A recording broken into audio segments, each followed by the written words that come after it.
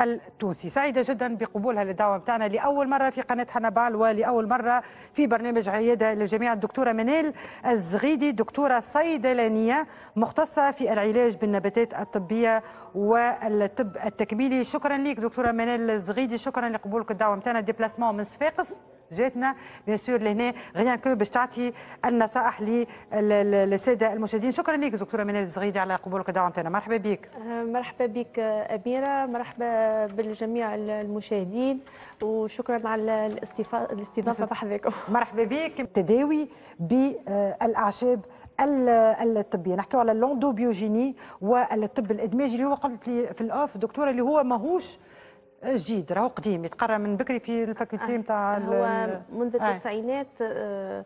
بدات تقريه معناها ما يسمى ب l'EPU معناها enseignement post-universitaire التعليم بعد الجامعي يتقدم للصيادلة والأطباء آه، تحت إشراف كلية الصيدلة بالمنستير بالتعاون مع الجمعية التونسية للنباتات الطبية تم تكوين العشرات نجم نقولوا حتى المئات من من الأطباء والصيادلة وتوا تفتح تفتح التكوين هذايا آه، حتى بقية الاختصاصات الاختصاصات في ال domaine معناها في المجال العلمي. كما نقولوا les vétérinaires nutritionnistes infirmiers.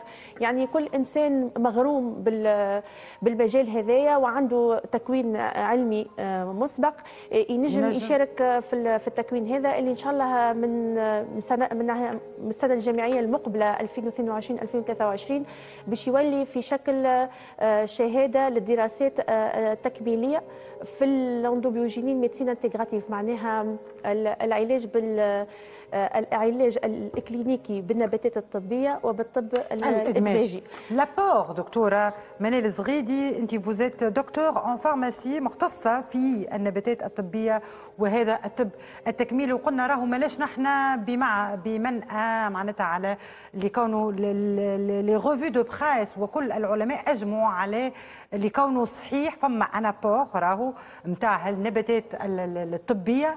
عندها انابور للمريض.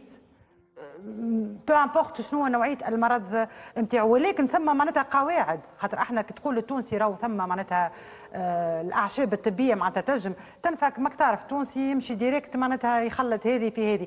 ثم معناتها لهنا فما قانون معناتها يمنهج هذا شكون اللي نجم يعمل العلاج بالأعشاب الطبية شكون قادر باش يعمل هالخلطات هذه أس العباد الكل كيف كيف وإلا فما معناتها خاصة الرقابة. اي باش ما ندخلوش في أي.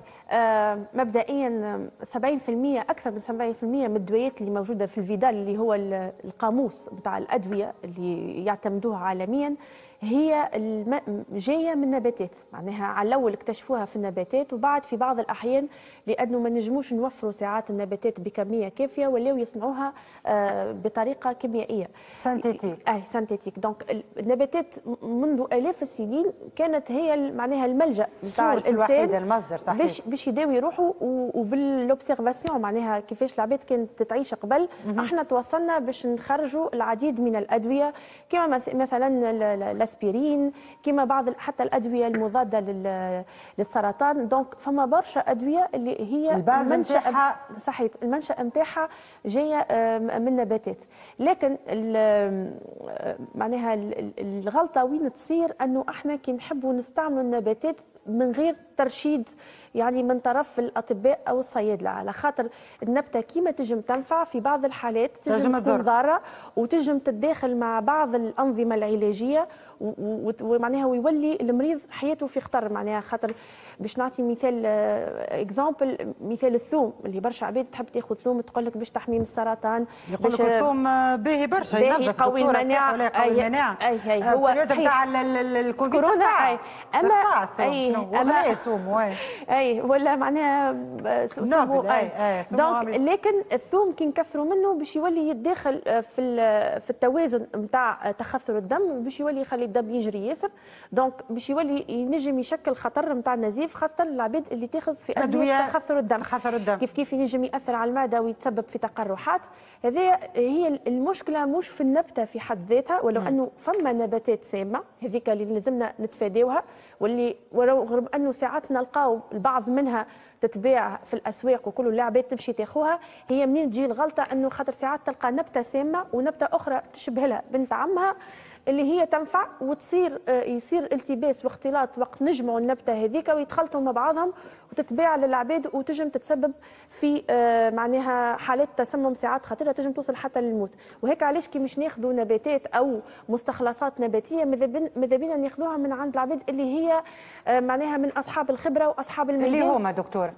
والله يا, يا إما باش نمشيو للطبيب باش ينصحنا ويعطينا آه، معناها آه، خلطة نتاع نباتات اللي مش تتعمل عند الصيدلي أو نمشيو للصيدلي خاطر ثم بعض النباتات وبعض كما نقولوا الاضطرابات اللي ينجم الصيدلي اللي يبدأ عنده كفاءة في في العلاج بالنباتات الطبية ينجم ياخذ من عندك بعض المعلومات وينصحك بها وكان معناها آه، استوجب الأمر أنه هو يبعثك للطبيب باش تعمل عنده آه، معناها تعمل يعمل لك visite ويعطيك الدواء خاطر ساعات كي يبدأ عبد مثال مثال ها باش نقول لك المريض كي يجي يبدأ عنده عرض مقلقه يجي يركز كان في العرض. ما يجيش يقول لك مثال أنا عندي سكري ولا عندي ارتفاع ضغط دم ولا عندي الكلاوي مقلقة. donc أنت باش باش تنصحوا للعرض هذاك معناها كان تغفل على أنك تساله تاخذ شي في دوايات عندك شي أمراض أخرى تجم تتسبب في أنك تزيد تأزم له المرض نتاعو مثال كيما واحد يقول لك أنا نحس بروحي كرشي خرج شوية بعد رمضان ماكلة السكر وكل.